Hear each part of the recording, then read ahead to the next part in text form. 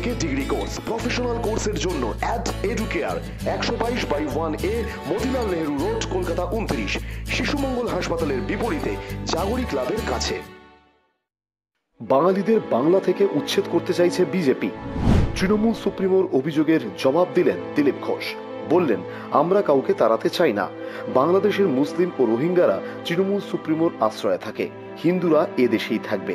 তিনি আরও বলেন, হিন্দুদের ভয় পাওয়ার কোনো কারণ নেই। সমস্ত বিরোধী এক হলেও এ রাজ্যে এনআরসি রোখা সম্ভব নয়।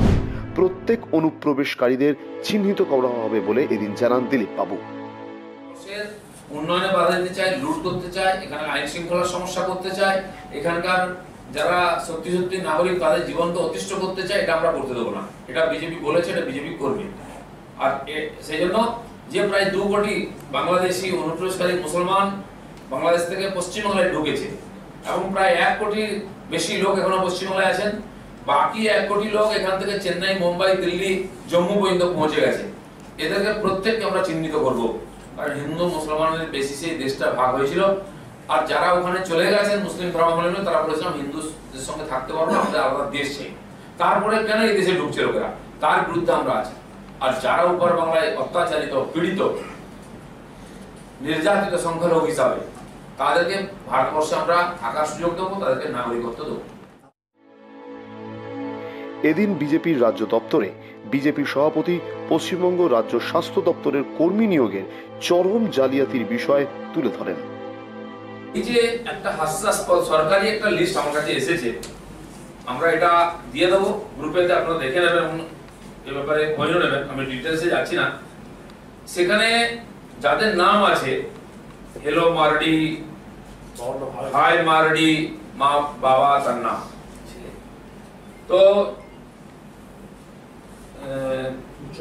ছেলের নাম হচ্ছে সুদামা, বাবার নাম হচ্ছে কৃষ্ণ। এটুকু নাম, কোনো টাইটেল নেই। এটা হচ্ছে অ্যাপয়েন্টমেন্ট লিস্ট সরকারি রিপোর্ট থেকে আমরা বলছি।